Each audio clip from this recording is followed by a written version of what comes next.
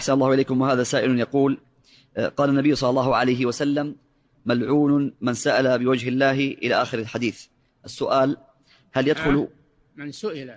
نعم أو من سئل بوجه الله؟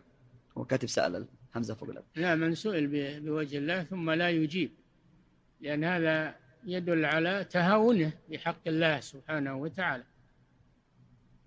لا يسأل بوجه الله إلا الجنة. أمور الدنيا ما تسأل بوجه الله.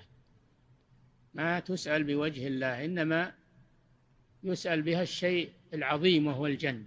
تقديرا واحتراما لأسماء الله وصفاته.